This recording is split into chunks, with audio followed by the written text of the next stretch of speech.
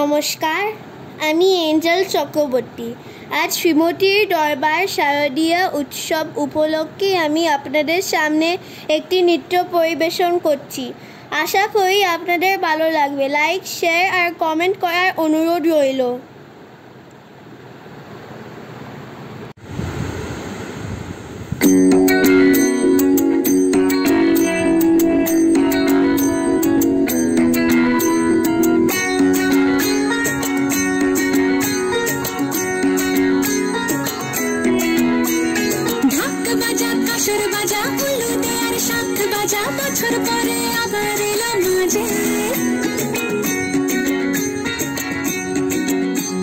পুজো পুজো গন্ধ নতুন গানের ছন্দ নিয়ে শারদিয়ায় খুশিতে মন নাচে।